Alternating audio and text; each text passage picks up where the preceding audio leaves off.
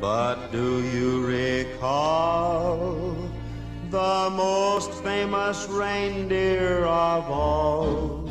Charles. Rudolph the red-nosed reindeer had a very shiny nose. And if you ever saw it, you would even say it glowed.